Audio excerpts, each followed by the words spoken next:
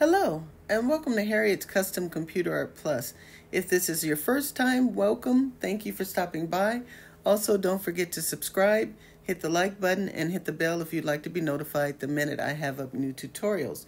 Today, I'm going to be showing you how to make the iron-on transfer canvas boards for paint and sip, part, sip parties. I um, saw a lot of interest in making the paint and sip boards but they were using um, vinyl and having to weed the vinyl for each of the canvases. This is the no weed canvas using the iron-on transfers. You can make a whole bunch of these because they only take 30 seconds each to make um, once they're printed, once the transfers are printed out. So let's get started.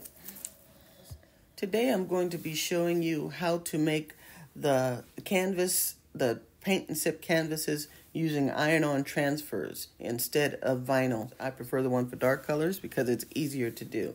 Um, but this, so I just took my images that I wanted to use. I opened them and this is, I'm using an iPad Pro 12.9 and this is Pages, but you can do this in Word if you're using um, a Windows computer. And all I did was take my image to the edge because my canvases are 8 by 10 so I wanted the images to be 8 by 10 so all I did was take my um, image that I wanted to the edge and I'm going to make sure that it doesn't go beyond the 8 inch line. And when I saw that of course it's stopping at about seven, a little under seven and a half that'll be perfect. So I just position this in the middle of the page. so that I know when I take it to Cricut to cut my 8 by 10 shape out, it will be perfect.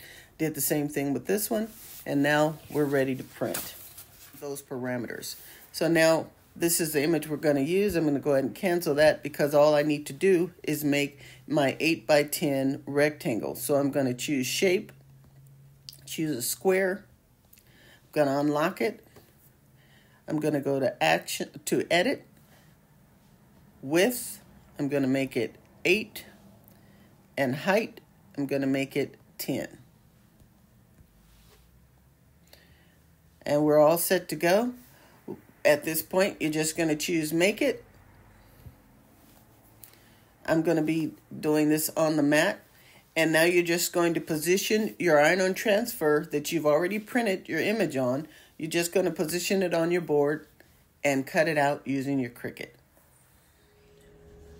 Okay, so now I'm going to show you the rest of the process. First, we need to cut out our image. So I'm just going to, on my Cricut design space, I'm going to hit next.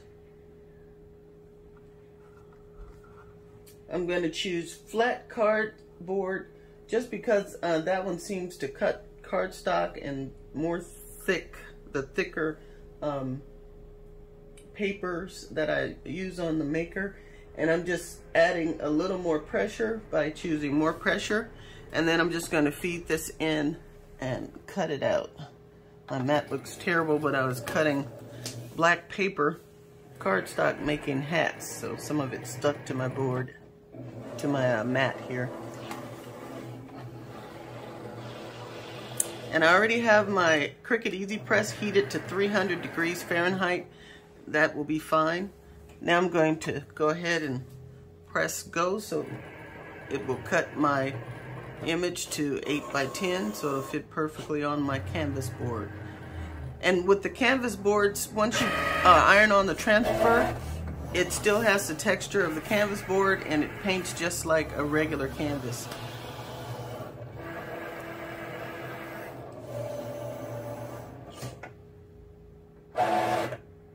All right, it's finished cutting. So I'm gonna go ahead and peel off the extra edge. Get my transfer. And what I also like about the AV transfers, they have the backing already uh, split apart because I don't have much nail. So it makes it easy for me to get the backing off. So I'm gonna move this out the way for now. And as you can see, it already pulled off two of the strips. So this one, you're going to peel off the backing. And you do not, you do not mirror these images when you print them on your printer. You don't want um, to mirror them You can mirror them if you have an image that doesn't have words, but I recommend that you just uh, leave it exactly as it is because this one just peels off the paper and you lay it on the canvas. So I'm just trying to get it centered on there so that it'll fit perfectly. I need to pull it over a little bit. Try that again.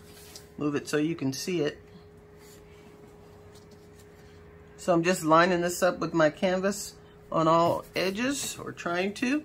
Now, for this one, you're gonna cover it with a sheet of paper that comes with it. It comes with a sheet of parchment paper in the package with the iron-on transfers for dark colors. I like the Avery, Avery brand, but there are a lot of different brands you could use.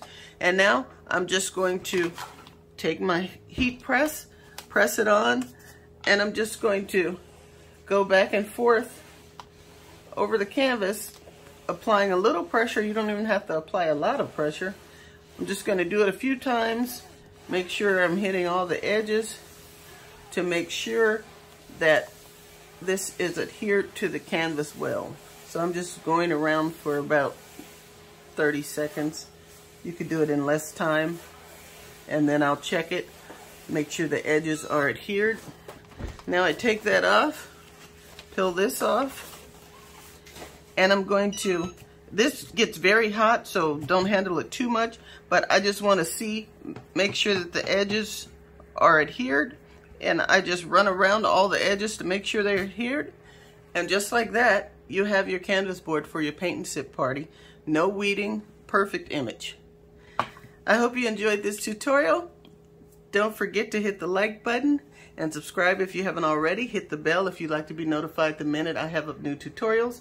I currently have over 100 tutorials on uh, making different party supplies, decorations, uh, posters, banners. So check out some of my other tutorials but I'll see you next time.